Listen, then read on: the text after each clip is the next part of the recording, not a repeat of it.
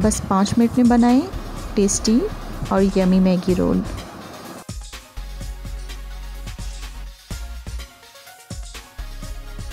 Maggi roll बनाने के लिए मैंने लिए हैं दो पैकेट मैगी, इसमें हम डाल देंगे एक गिलास पानी।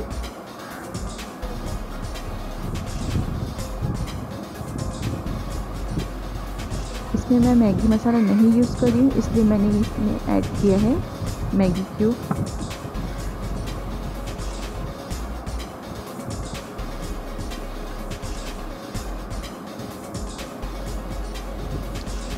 थोड़ी सी हल्दी one third teaspoon red chilli powder three fourth teaspoon ज़ीरा powder half teaspoon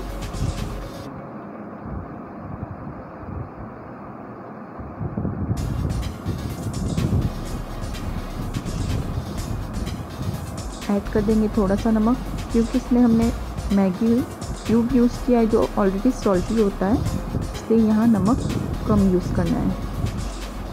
add कर देंगे टू टीस्पून ऑयल और मैगी को ड्राई होने तक कुक कर लेंगे। देखिए ड्राई हो चुकी है। अब एक पैन में हम सॉटे करेंगे वन टेबल स्पून ऑयल में प्याज, बारीक कटी शिमला मिर्च और स्प्रिंग अनियन ग्रास आप अपनी चॉइस से कोई भी वेजिटेबल ले सकते हैं। बस इसे स्टर फ्राई कर लेना है कुछ सेकंड के लिए। इस, इसमें ऐड कर देंगे हम बॉईल की हुई मैगी।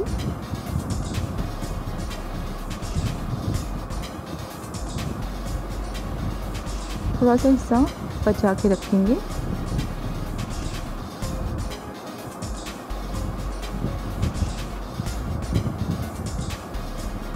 इसे अच्छी तरह से मिक्स कर लेंगे। अब एक बाउल में हम ले लेंगे दो अंडे। इसमें हम डालेंगे one third teaspoon black pepper powder a pinch of salt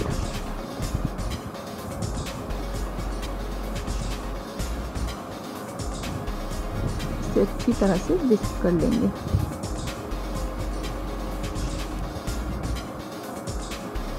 अब इसमें ऐड कर देंगे हम मैगी, जो हमने बॉईल की थी और बचा के रखी थी थोड़ी सी इसे भी अच्छी तरह से मिक्स कर लेंगे।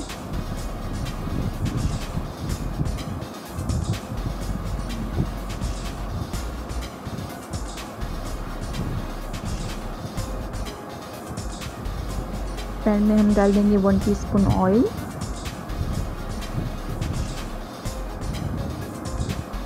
पैन की साइज़ बड़ी रहनी चाहिए। बिकॉज़ हमको इसमें एक ही ऑमलेट बनाना है। पहले थोड़ा सा मिक्सचर डालें और इसे फैलाएँ। उसके बाद बचा हुआ मिक्सचर भी पैन में डाल दें और एक बड़े साइज़ का ऑमलेट बना लें।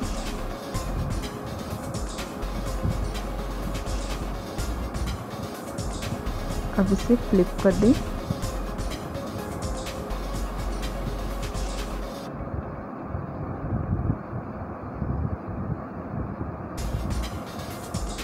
अब इस ऑमलेट पे रख दीजिए। मैगी, जो हमने पहले ही बना ली थी। और इसे फोल्ड कर दीजिए।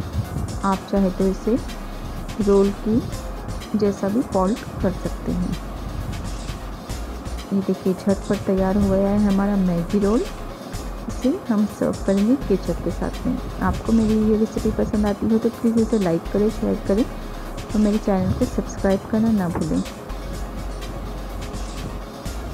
और बेल आइकॉन को ज़रूर प्रेस करें ताकि आपको मेरी नई वीडियो की नोटिफिकेशन मिलती रहे। Thank you for watching